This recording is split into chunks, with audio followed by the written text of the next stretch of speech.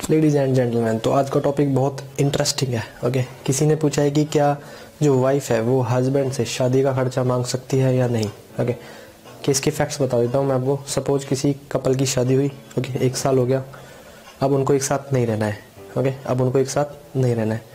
They are trying to separate okay अब wife को कोई सलाह देता है कि, भाई, जो तेरा खर्चा हुआ है शादी में, वो मांग ओके वो मांग हस्बैंड से, ठीक है?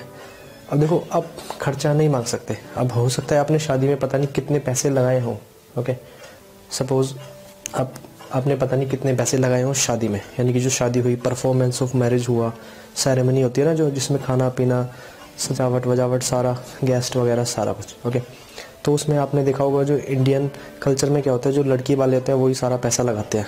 I mean mostly okay mostly girls वाले ही पैसा लगाते हैं। तो अब क्वेश्चन ये है कि जो पैसा खर्च हुआ है लड़की का तो वो क्या हस्बैंड से मांग सकती है या नहीं?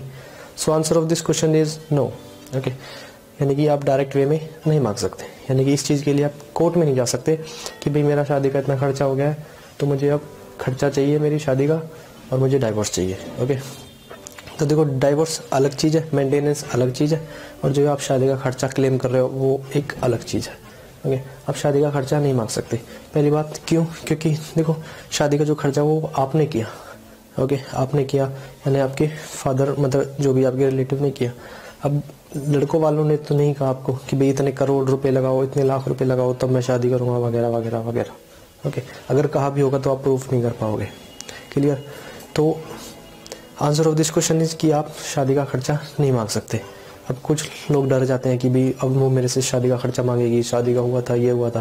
तो देखो, डरने की कोई ज़रूरत नहीं है। अभी तक तो कोई ऐसा केस हुआ नहीं है जिसमें शादी का खर्चा ऐसे मांग लेंगे। और रही बात मेंटेनेंस की। मेंटेनेंस एक महीने का मेंटेनेंस होता है बस। यानी कि उसको मेंटेन करने का। वो भी शादी के एक साल बाद अगर डाइवोर्स होता है तब। और वो भी कोर्ट डिपेंड डिसाइड करती है। ओके ये नहीं है कि मेंटेनेंस लगा दिया तो मिलेगा ही। वो रिजेक्ट भी हो जाता है। ओके मैनी केसेस में वो रिजेक्ट भी हो जाता है। ग्राउंड्स होते हैं, वो प्रूफ करने पड़ते हैं। हमने काफ़ी सारी वीडियो बनाई हुई है, आप उसमें जाके देख सकते हो। ओके सो डरने की ज़रूरत नहीं है। वाइफ अपनी शादी का खर्चा नहीं मांग सकती। ओके